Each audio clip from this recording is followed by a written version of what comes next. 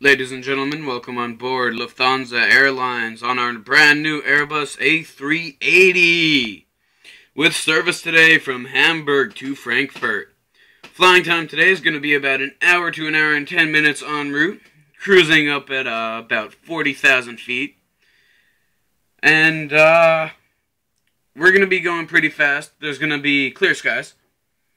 We would like to once again welcome you on board our brand new aircraft, and we do very much thank you for choosing to fly with us on Lufthansa. Uh, I'm captain, Captain Shkedy, and I will be uh, catching you when I'll be talking to you basically throughout the whole flight.